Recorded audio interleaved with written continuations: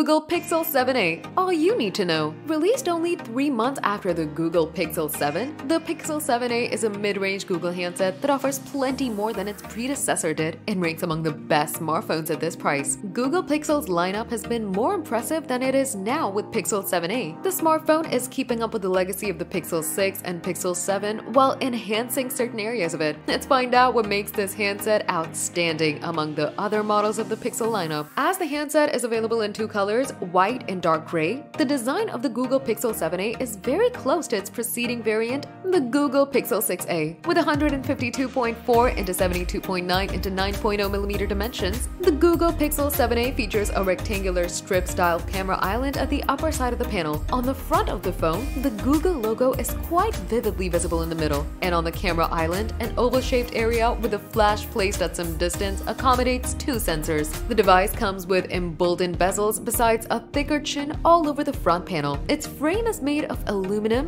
and there's a Gorilla Glass 3 panel on the front. It has a composite plastic on the back. While close to the placement of the front camera, it has a punch hole cutout located at the top middle of the screen. The power and volume buttons are located on the right side, whereas the SIM tray is located on the left. While running on Android 13, which is upgradable to Android 14, it's powered by the Tensor G2 processor that fuels a great amount of memory, launching apps, scrolling through the operating system, and switching between apps and games goes smoothly on this device. There's no lagging in playing the latest games and editing photos and videos with advanced tools such as Adobe Lightroom. The Pixel provides incredibly well for a phone in this price range. If you're seeking a fast phone, the Pixel 7a will not disappoint you. It's backed by a 4385 mAh battery that supports 18 watts of wired charging, whereas the most notable thing is its capacity of wireless charging. But the device device takes a little more to charge than its predecessor, taking 45 minutes to get the battery charged to 50%. On the rear side of the phone, there's a dual camera system containing a 64MP wide sensor and an ultra-wide 12MP lens. The former sensor is new to the Pixel lineup.